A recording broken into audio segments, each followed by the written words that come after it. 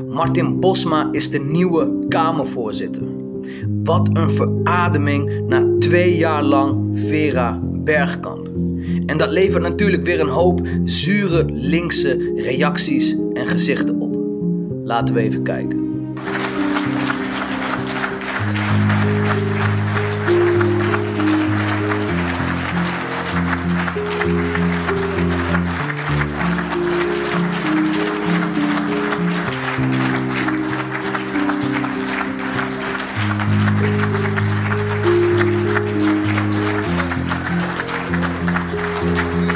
Linkse mensen zijn slechte verliezers. De democratie is alleen het verdedigen waard als het hun democratie is.